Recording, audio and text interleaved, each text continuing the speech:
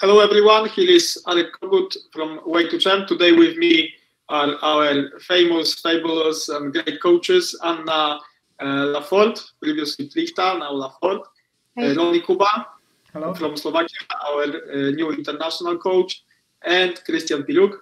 Hello. Also very experienced coach from, from Poland. And today we're gonna talk about how to combine your work with high level training. So I would mean this would be for everyone who have who has uh, his or her own company, spends a lot of time in work, has family, education, other duties, and wants to combine it with high level training. So I would say anywhere around uh, eight, ten hours, maybe above. So I think that's a case for uh, many people who are watching us. So we want to first talk with Ronnie, who is our new coach, and this is the idea how we got into that. So that Ronnie has his own company and combines also his working with high level training. So 50 hours, sometimes even 20 hours. Start to tell us how do you how do you combine it? How does it work in everyday life? Well, I have been tweaking my schedule uh, over the years. Well, basically the past years that I'm doing uh, structured training the most important thing for me is now to have a firm schedule. So usually uh, when I do my uh, training, I, I, within the day I put the training first as the most important uh, part. Because I have a, my own business, I can afford to do that. Of course, with other types of employment, it's um, it's not so convenient or easy to do. But I uh, I'm lucky enough to have it this way. So usually I do my training, particularly if it's if it's a hard one, uh, around well just after lunch from 1 p.m. usually, and then also in the weekends in the morning. There I have uh, longer sessions which I start early around 10, 11, and then basically I have the whole day. So as I said, I can uh, afford to do that. And uh, the main reason that enables me to do this is that I have a preset plan. You know, a lot of people uh, that just cycle and uh, do uh, uh other sports around that work uh, are doing the mistake. Uh, in what, what I see is a mistake is that they don't have preset goals and then it's kind of hard to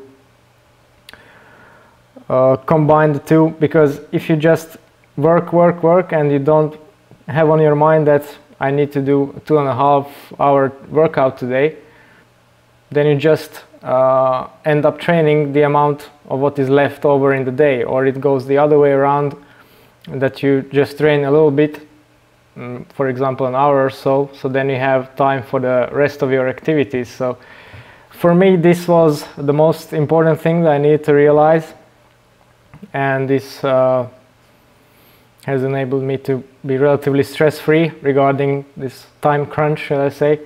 Uh, so I always work out at the same part of the day. It's it's the main priority, and then I uh, schedule my other activities around that.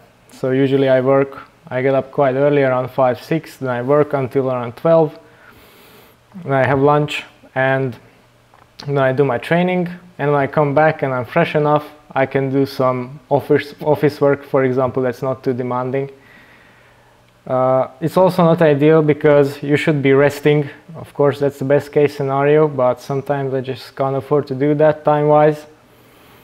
But uh, yeah, definitely having Arek over the last two years has helped me a lot in this. So I can, I have also learned and created habits thanks to this that enabled, to, enabled me to manage my time and basically I got to a point where I never really have to skip a training session because of work um, and how I organize it.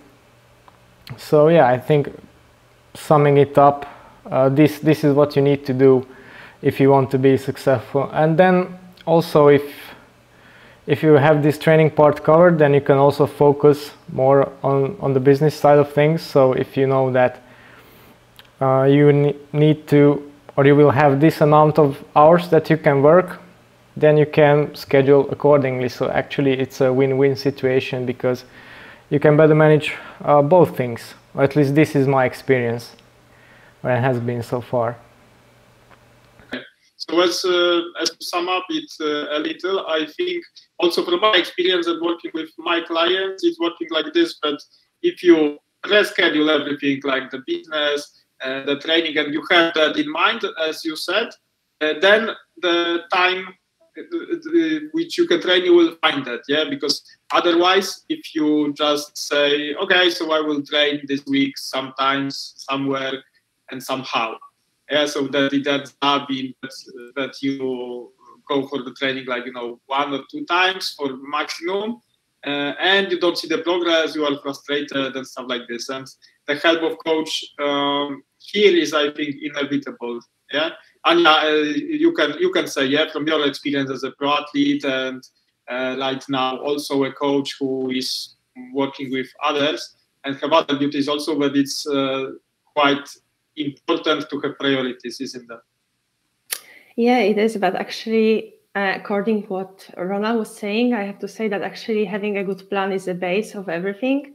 And also looking in the past when I used to be a student and I still I was already racing in the national international level.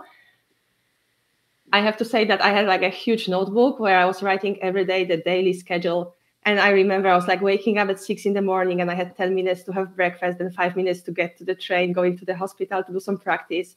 And then in between hospital and uh, university, I had maybe two or three hours for training. And everything, like every day was counted, like every minute was exactly planned for something, for the activity. But it was working really good for me this way for three years. And also, I didn't miss any training. So I have to say that having like good planner of the day, of the week, uh, being prepared that, yeah, it will be busy, but at the same time you don't waste your time for other things like now we have so many distractions like it's easy to waste time on social media and sometimes by the end of the day you realize oh gosh i lost like two hours of the day today being on my phone for nothing but actually when you are so organized and very busy it's just like yeah you don't have time to waste these minutes for something that is not necessary that day and it's easier to stay focused and also now I see it with my riders when they are having own companies, when they are working and they don't have that much time for training. They have to be organized, but they don't skip the efforts. They don't skip the workouts. They do everything 100% because they have the training program for one week prepared. It's also based on uh, the time schedule that they have. We always discuss before I make the training program and we decide like which days they are more busy which days they cannot train and then we make it the way that it's possible to do and i think it's easier for them to be ready and and to do the training as it's planned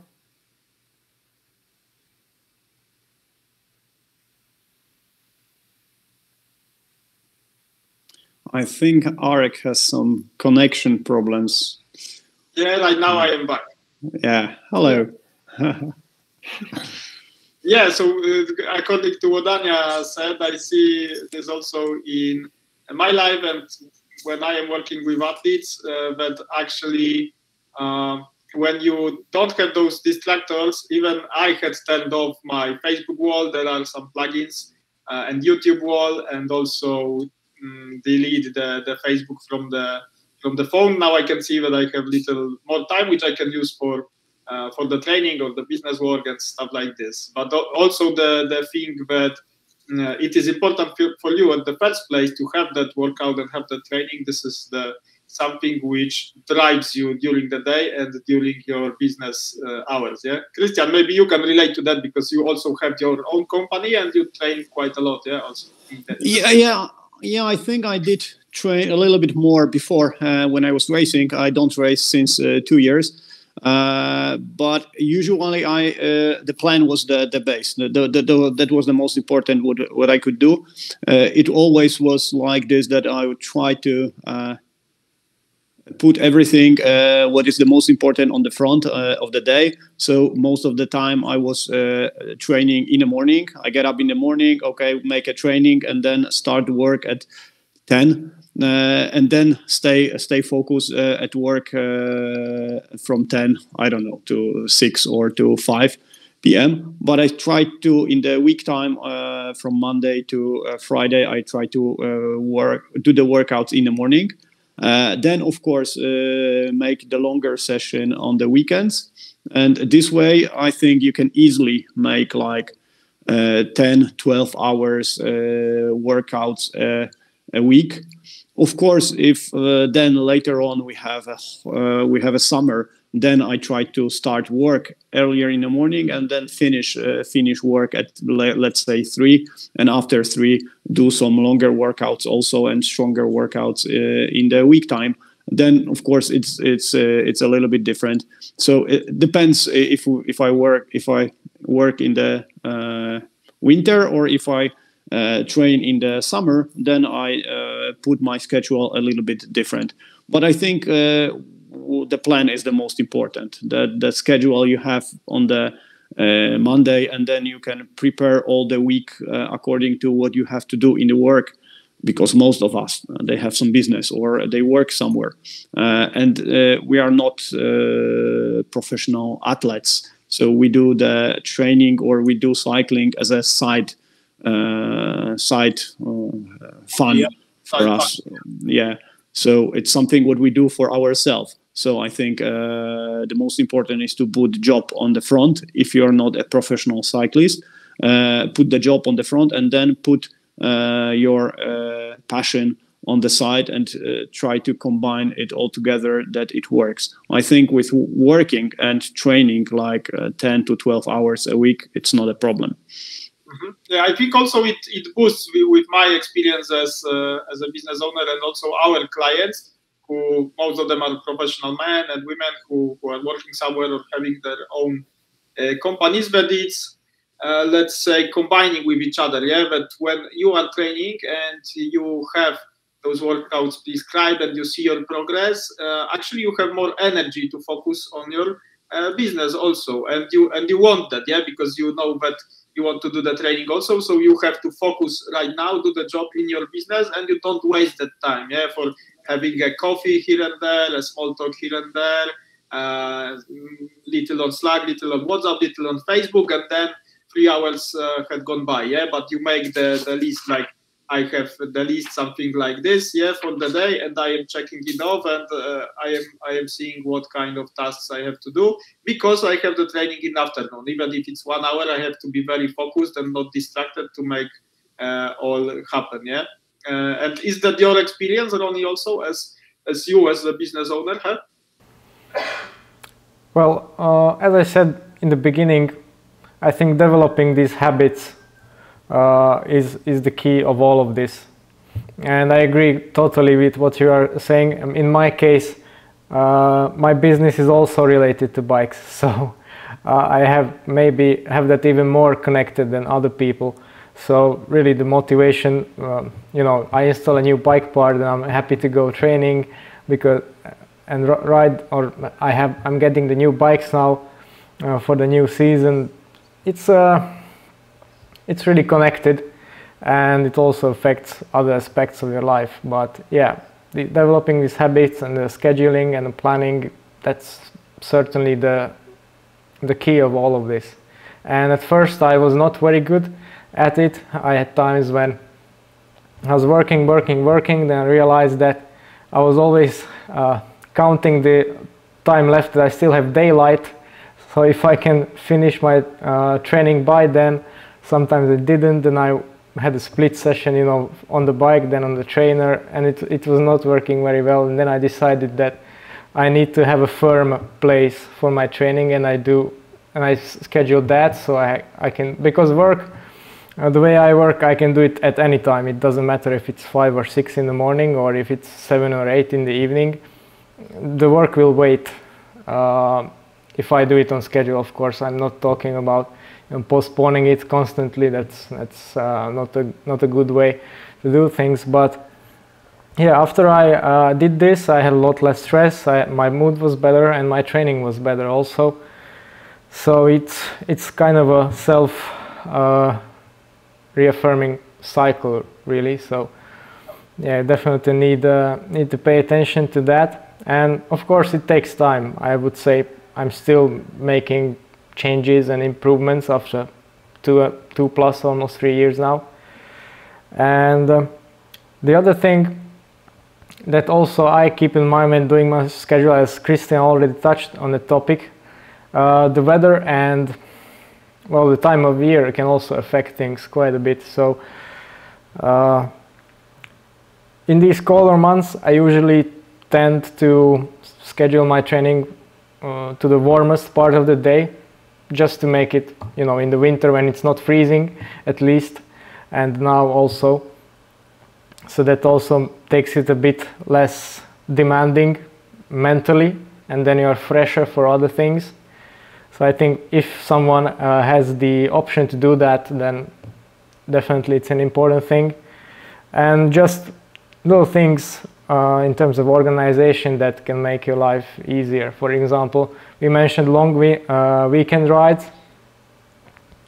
And particularly in these changing seasons i find that sometimes it's quite problematic because uh, at 7 in the morning it's freezing and then at 11 it's 10 degrees so if you start at 7 in the morning then how do you dress you know it's little things like this and it makes makes it a whole lot more complicated so i just shifted so that i start at 11 until 4 5 p.m when the temperature is more or less constant and then i don't have to worry about you know uh, changing my clothes or doing extra layers and stuff like that. So yeah, I postpone it. I can do other things in the meantime until I start, and then it takes me less time overall.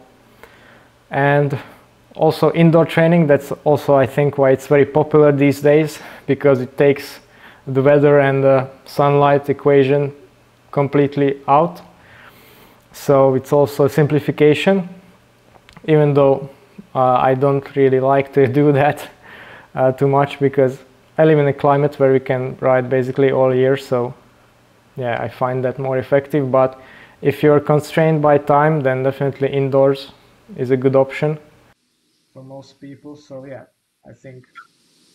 Yeah, I have also some some clients, you know, from big uh, cities in the world, like let's say London, Mumbai, uh, Sydney, and stuff like this. So they are using indoors also during the season, even in, in Warsaw or big cities in Poland, because going out of the center of the city uh, to the place where you can do training actually is taking you one, one and a half hours both ways. Yeah, and you cannot do the structured workout uh, in the time because you are going through the uh, crossroads, through, through cycling paths and stuff. So actually, indoors is a good solution.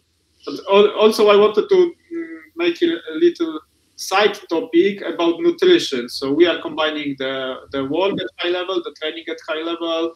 We are taking care of our families. Maybe, uh, Anya, do you have experience because you were also doing the, the university, the trainings and all the stuff? How about nutrition? How were you taking care of that to make sure that you are actually fueled for the for the training and actually recovering from all, all your duty? Yeah, normally the same. I was making schedule of the day, I was also making the schedule what I'm gonna eat and what time I'm gonna eat. Because normally I knew exactly the certain time, how long I will be in, at the university, what time I will be in the hospital, and then mostly I was eating actually on the way from one place to another in the train or in the bus. But always I was making the lunch boxes and I had it always with me. So I knew that yeah, I will not snack like really unhealthy thing. I was always prepared that I have something healthy, fueling that I will need actually to do my effort and be ready for training after. And I think it's a good system. And that's also very important. Like without the fuel, you cannot do a good training. And I think it's also something we should really focus on that, yeah, it's not only about training, also recovering is important, the same as eating. And I think when we combine all this together, then it works properly for us. Mm-hmm. Okay, and the last thing what I what I remember right now about the, the note which I had done before.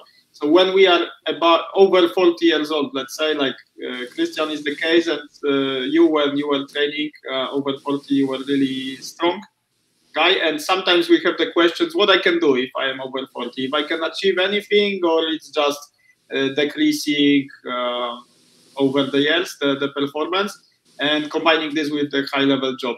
What can you say about the progress which you can achieve by doing that over 40 years old? Uh, it always depends uh, if you start to train when you are 40 or you start to train when you are uh, 35. Because sometimes, okay, when you start to train when you are 30 or after 30, of course, you can get better and better uh, until you get probably 40. But sometimes, if you didn't train before and you are 40 right now, and then you have, uh, I, let's say, kids are already adult and you have more free time uh, your job is already set up so you have some more time for you. So of course uh, starting uh, training when you are 40 probably you will get stronger year by year. It's not uh, mentioned that okay you're already 40 and you're not going to get better. I think you can be better. Of course if you start a little bit earlier then i think after 40 uh, our body doesn't recover so fast. So uh, you can only maintain to keep uh, your high level. But if you start when you are 40, I think you can get better, better, better, probably because the base is low. Yeah, I think it's important topic that you touched about uh, recovery also. Yeah, but the proper help of the coach uh, also addresses that. Yeah, because normally when you are high achiever, yeah, you want to perform well at, at the job, at the training, at the family, and all your duties. Sometimes you forget about that recovery or the importance of that, and the coach is the uh, one who is uh, remembering about the, this. Yeah, now now see we have the we have made the job. Now you have to recover. Yeah, and normally if you train alone, it's oh, okay. Maybe I had trained something, but I will go to push something more and something more and something more. And actually after a few months we can find ourselves overtrained yeah? Or burnout or yeah burn- i think yes. yeah I, I, think it's really important. Uh, that's why the coach helps you uh, not only to put the uh, efforts uh, what you have, do, have to do on the training but also uh, give you some uh, recovery or information when you supposed to recover because i think especially after 40 the recovery is as much important as the train. Yes. So you cannot uh, be overloaded. Uh, it's not the years uh, your body is not recovering so fast. Probably uh, after 40 you don't sleep so long. So if you don't sleep, you don't get recover as well. So it all all all coming all to the one point that sorry you need you should have somebody over you uh, to take over uh, to, who think for you uh, how long you should train and how long you should get recovery. Yes, and I think that yeah, the, the last one what I right now remember uh, because you right now you have a very good knowledge yeah, about cycling about training. Why do you use uh, services of coach and why you can advise others to do that, uh, despite the fact that they are already really knowledgeable about training? Well, for me, uh, it's I think th uh, three things. So the first thing is accountability. So if I have something scheduled out by someone, then I find it a lot more important to stick to that because it's simply it may sound stupid, but you know what do I think? It, if I skip this workout, what will Arek think? You know? yeah, it's uh, it's that factor. Um, the second thing is objectivity because uh, it might be hard for someone to evaluate themselves there will always be some kind of uh, bias in that so if you take outsource that to another person then it can't happen because uh, they oversee many people, how they progress, and what the general level is, um, and uh, and you stick to that, and then you have objective numbers. Where I live, there are not many cyclists, but um, you know everyone thinks they're the fastest because they're the fastest in their town, you know, but they don't have power meters, they don't have other uh, things to to compare to, so they're living this kind of delusion and. so they can't really progress because they don't have the input to do so. So that's the other thing. And uh, the third thing uh, is motivation, I would say, because it's uh, it's a bit of an um, alignment with the first point I said, but uh, something more in the sense that if you plan something together and achieve that, it gives you a greater sense of accomplishment and also more motivation to for the for the further progress. So I would sum it up like this. And also uh, the last thing, probably one more, is it just it's time off your mind really. Mm, you don't have to think about it. Again, it's outsourcing basically. You you get the plan and you know what to do, and you don't need to really uh, think about why and how and, and what. You just have that and you just need to plan on when and how you do it. So it makes it simpler. Yeah, and and also it's, uh, it, you know when something goes wrong, you have someone to uh, uh be be fault about. yeah, there are people who, who like to blame put the blame on others, but yeah can can also be the that's the, that's the joke but actually when cycling and actually performance is important to you it's also taking um, the thinking about this out of equation and out of your uh, life. So actually making it a little easier. So this is actually what what we are doing. And uh, thank you today for for our uh, video podcast. Thank you anya thank you ronnie thank you christian. Thank you. Thank you thank, thank you all of you who, who are watching us. Uh, and below the video, you will find the link to fill our survey. And uh, our guys will contact you and talk absolutely for free where you are right now, where we can take you, and if something we are offering is suitable for you or not. Uh, so I advise you to do that. Uh, thank you for today and see you next time. Right. Thank you. Bye Thank bye. you. Bye-bye. Bye.